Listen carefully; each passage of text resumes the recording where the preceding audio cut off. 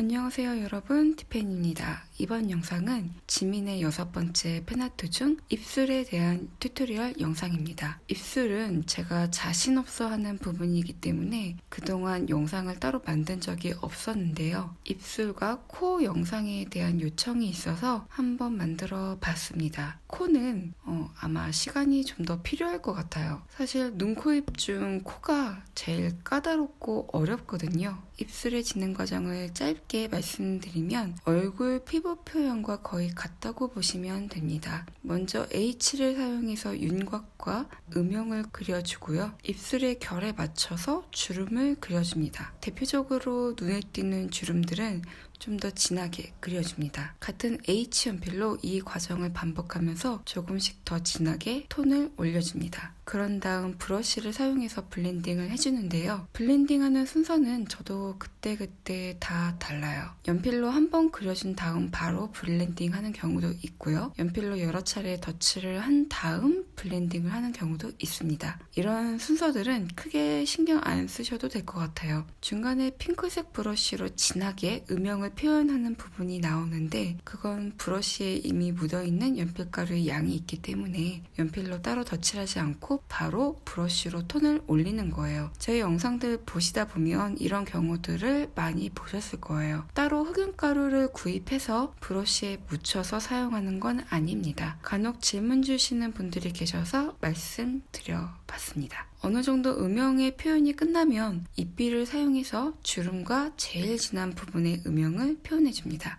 그런 다음 블렌딩을 하면서 경계를 자연스럽게 풀어줍니다. 그리고 지우개를 이용해서 하이라이트를 표현해줘요. 말과 영상으로 설명은 드리고 있지만 가장 좋은 건 직접 해보시는 거인 것 같습니다. 제 영상을 보시고 대충 감을 잡으신 다음에 꼭 직접 그려보시기를 바래요. 자, 그럼 남은 영상도 실감해 주시고요. 저는 다음 주에 비의 펜아트를 들고 다시 찾아오겠습니다. 다음 주에 다시 만나요. 안녕.